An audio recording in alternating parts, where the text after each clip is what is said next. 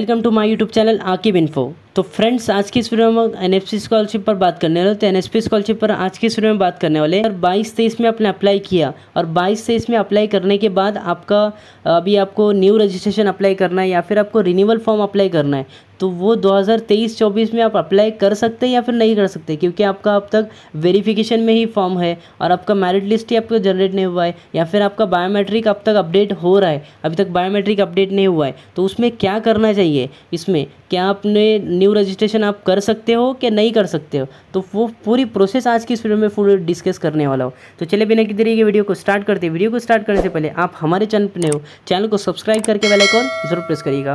यहाँ पर हम आ चुके हैं एन स्कॉलरशिप की ऑफिशियल वेबसाइट पर। इसका लिंक मैंने फ़र्स्ट ही आपको डिस्क्रिप्शन के अंदर दे दिया है। तो यहाँ पर हम आएँगे नीचे। तो यहाँ पर देखिए, जितने भी स्कॉलरशिप स्कीम है सेंट्रल सेक्टर में, जितने भी ये सब क्लोज है, यहाँ पर भी ये सब क्लोज है, जितने भी आप देखेंगे सब क्लोज है।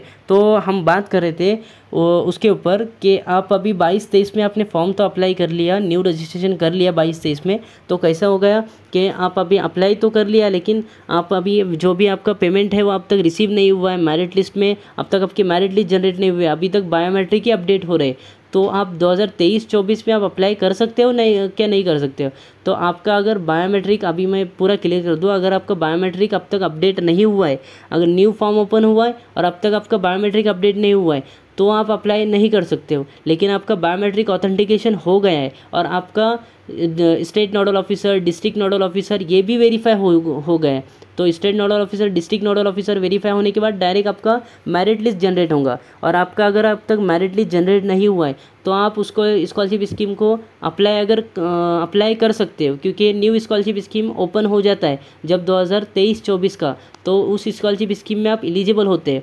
कि कैसा होता है कि अगर न्यू जो भी अभी प्रीवियस जो भी स्कॉलरशिप स्कीम है तो उसमें अपन अप्लाई किया है। लेकिन उसमें अब तक आपका पेमेंट रिसीव नहीं हुआ है। वो पेमेंट कुछ वजह से रुका हुआ है, वो मेरिट लिस्ट अब तक जनरेट नहीं हुए, इसके लिए रुका हुआ है। तो आप ये बहुत सारे मन में डाउट आते हैं कि हम दो तेईस चौबीस का फॉर्म भरे या ना भरे? और हमने, हमारा फॉर्म है वो फाइनल सबमिट होगा कि नहीं होगा? तो आपका फॉर्म है वो फाइनल सबमिट होगा। इसमें कोई भी टेंशन लेने की आपको ज़रूरत नहीं है। आप फॉर्म बेझिझक भरिए और भरने के बाद है ना, वहाँ पर आपका जो पेमेंट है वो अभी जैसे मेरिट लिस्ट जनरेट होती है तो मेरिट लिस्ट जनरेट के होने के बाद आपको, आपके अकाउंट में देखने के लिए मिलेगा। तो आप उसके बारे में टेंशन नहीं लीजिए। आपका जब 2023-24 का जब फॉर्म स्टार्ट हो जाएगा, जब उसकी डेट आ जाएँगी फॉर्म स्टार्ट हो जाएगा तो अब आप न्यू रजिस्ट्रेशन भी उसको कर लीजिए। तो यही इन्फॉर्मेशन आज की इस वीडियो में देनी ज़रूरी थी। तो चलिए मिलते हैं इसी एक नए वीडियो के साथ।